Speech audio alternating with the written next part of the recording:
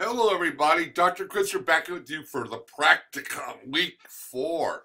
Enjoyed meeting everybody and talking to you in our virtual meeting.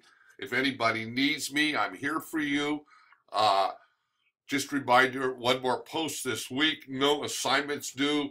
Uh, in two weeks, your evidence of planning assignment is due. Take care, everybody. Stay warm.